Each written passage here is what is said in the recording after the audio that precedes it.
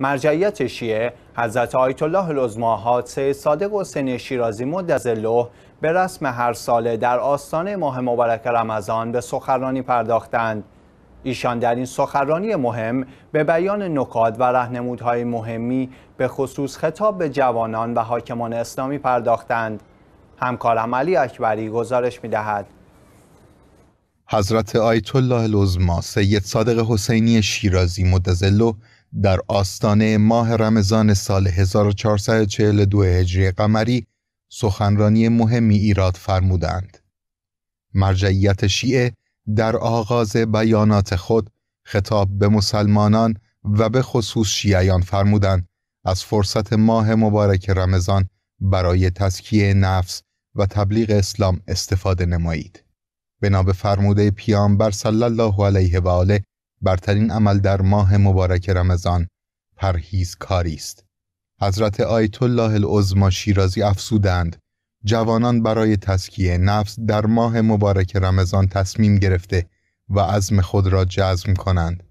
برای رسیدن به مراتب والای ورع پرهیزکاران را الگو قرار دهید.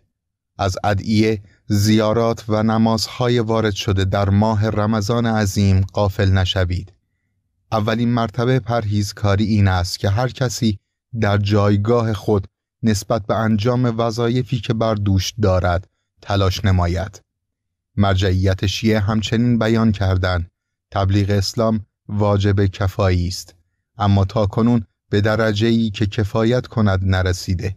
لذا بر همگان واجب عینی است. حداقل تبلیغ اسلام به یکی از دو جهت است. اثرگذاری و اتمام حجت. خدای متعال در روز قیامت تمام انبیا را از نحوه تبلیغ دین بازخواست می نماید و این برای اتمام حجت است. بر هر کسی در حد توانش واجب است در دفاع از دین از راه های مختلف و با ابزارهای متفاوت تلاش نماید.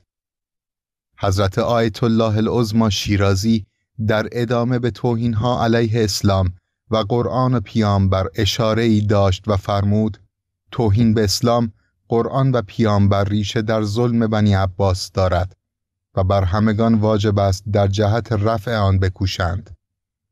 متاسفانه عمل کرده کشورهای اسلامی خلاف قرآن است که باعث برداشت غلط از اسلام شده است.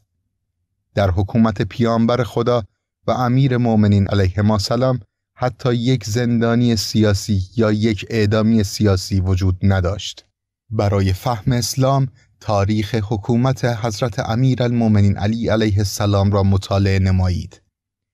مرجعیت عالی قدر شیعه در ادامه درباره فضای مجازی و ماهواره نکاتی بیان کرده و فرمود فضاهای مجازی به ماهواره ها بسترهای مناسبی برای شناساندن فرهنگ اسلام حقیقی به جهان هستند.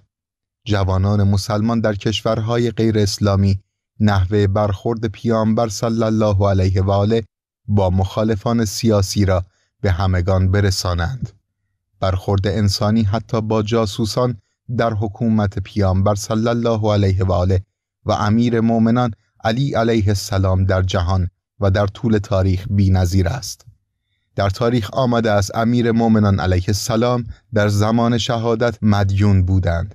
و مدیون از دنیا رفتند. آیا ایشان برای ساخت کاخ و قصر قرض کرده بودند؟ قطعا این گونه نبوده است. و ایشان برای خدمت به مردم قرض می کردن. این مطالب را باید به وسیله فضای مجازی و غیر بیان کرد. معظم الله با اشاره به دو داستان از گذشت پیامبر اسلام و امیر مؤمنان و برخورد انسانی حتی با جاسوسان تأکید کردند. امروز به عهده همگان است که ویژگی های حکومت رسول خدا صلی الله علیه و آله و امیر مؤمنان علیه السلام را یاد بگیرند و به دیگران نیز بیاموزند.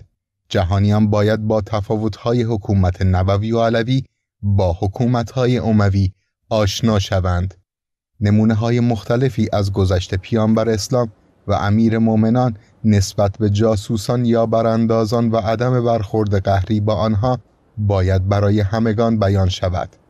اگر چنین چیزی اتفاق افتد مردم دست دست به اسلام روی خواهند آورد.